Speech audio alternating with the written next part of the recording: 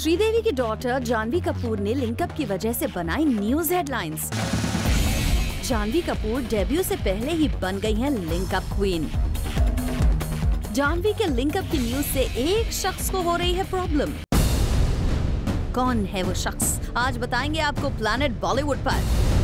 बॉलीवुड में जल्द डेब्यू करने जा रही सुपरस्टार मॉम श्रीदेवी की क्यूट डॉटर जानवी आजकल अपनी पर्सनल लाइफ की वजह से हैं सुर्खियों में। इन दिनों जानवी और शाहिद कपूर के यंगर ब्रदर ईशान खट्टर के लिंकअप की news talk of the town बन गई है।